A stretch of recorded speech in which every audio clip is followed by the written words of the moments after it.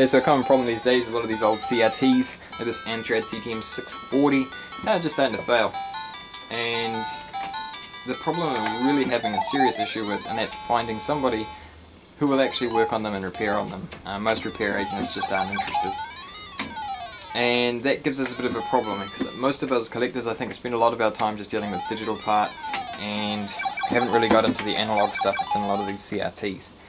So it's a big learning curve for many of us and a lot of us are also afraid of the voltages inside the display. And that, that's a good fear to have. Um, don't just go in there and start fiddling with crap and just assume you're safe because it is off. I mean the tube itself will hold a charge capacitors will hold a charge.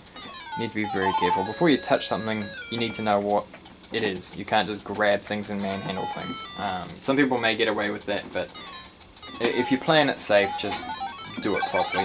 One good trick a friend told me was that if you are working in one of these CRTs, one hand behind your back at all times, and that prevents you from accidentally holding onto the chassis and then grabbing the high voltage cable at the same time, and suddenly you're the path of least resistance. No, you want to avoid doing that. You want to keep it nice and safe and have a good time. So, you know, what I wanted to do today is I want to show you guys sort of basically what I learned. Now, I'm a complete amateur at this. I am learning, so that does mean I'm probably going to use wrong terminology here and there. But I'm just hoping maybe I can share just a little bit of insight into what I found in this circuit and how I worked out things worked. So during this repair I did learn quite a bit, as usual. Uh, and there are a couple of points of confusion. Uh, we'll get to those once I actually come into this. So the absolute first place I started is I wanted to make sure, as you should do, that voltage was actually coming into the system and it was successful. And we checked these points here on T501, these outputs, and I was expecting around 100 volts out here, and that's exactly what I had, and I was expecting around 9 volts out here, and that was what I had. So that was all relatively happy within spec. Great. And that meant that this whole left side of the board, that way, I could just completely ignore and stay away from it. And a lot of that was one big particular IC which is good. So that eliminated a whole bunch of stuff right off the bat. Now, the, the, the actual problem, the actual problem that I understood was that we weren't getting five volts out the front of it, so that wouldn't turn the computer on. And I don't know if it needed the computer to be on to display something. So the absolute first thing we started with was the five volt circuit. Now this top part of the circuit here, I was finding voltages and things were relatively happy. We'd expect them to be up here. But I looked up the datasheet for this part here. So this is an, I think it's a LK78MG, and it's a DC voltage regulator. And this one's set up for 5 volts DC. It's supposed to be exactly 5.0 on the output. And I looked up on the datasheet, and pin 1 is VCC. And so on here in the circuit diagram, it's marked 17.8. So you'd expect to see 17 volts there. And uh, yeah, zero. Completely zero. And I tracked it back round. I mean, this whole circuit in here was just zero everywhere. There's absolutely no action. Now the main feed for this is this 18.5 volts here, which goes down the bottom, up, and then we can track that back uh, through R520 here, and this goes sideways through D404, up, and into pin 3 of the flyback. Now this is my absolute first point of confusion. I was trying to work out exactly how the circuit actually flowed electricity, where the electricity was actually going. Because when I would deal with transformers, I'll just screw all over for a second. When I deal with transformers, I always expect the primary and the secondary side. So when I see these two coils here, my first thought is the top pins of both sets are going to be voltage supplies. And I couldn't really understand why they would run power in through pin 2 and then come out pin 3. I mean, it just didn't make any sense to me what I eventually worked out, and it was, it's sort of obvious when you look at the circuit diagram, but it was just something I hadn't seen before. I wasn't com yeah, I wasn't experienced with it. But this is actually the feedback coil on the flyback. So no voltage goes in here. These are all outputs. And oh, that was the biggest, most confusing thing. It, it actually took me quite a bit of studying this thing to work out how this works. But basically the idea is this primary coil up here gets pulsed with 100 volts DC, and that induces a current on the secondary side.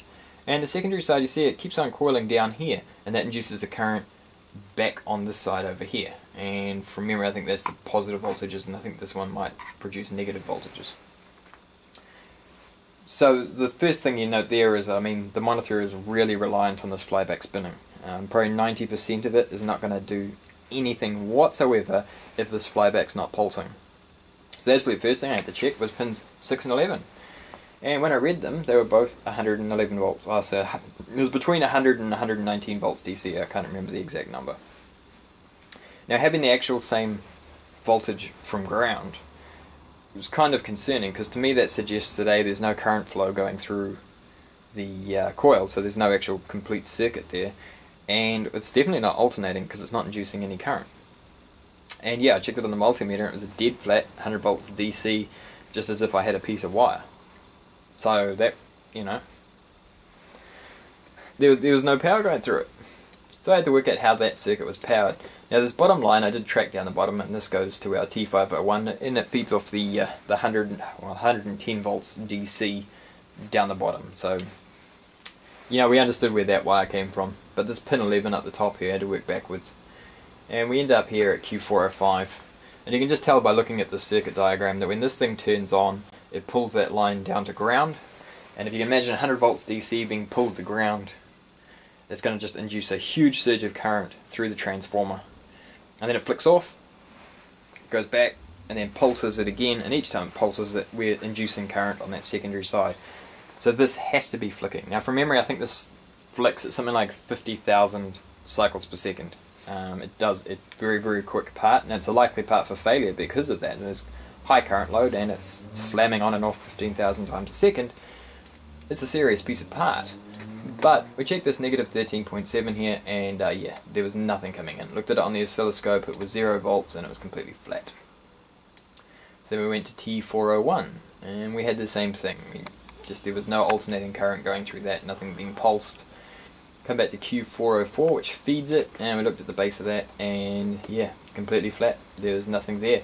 I think this 32 volt measurement it shows here, I do remember picking that up, but there was nothing there.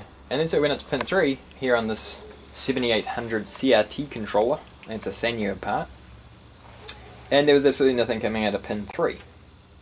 Oh, okay, so well, let's check that part. So when I looked up the data sheet, and from memory it said pin 12 was the voltage pin, or the VCC. So I checked that, it says here on the, on the sheet 11.3, and it was zero.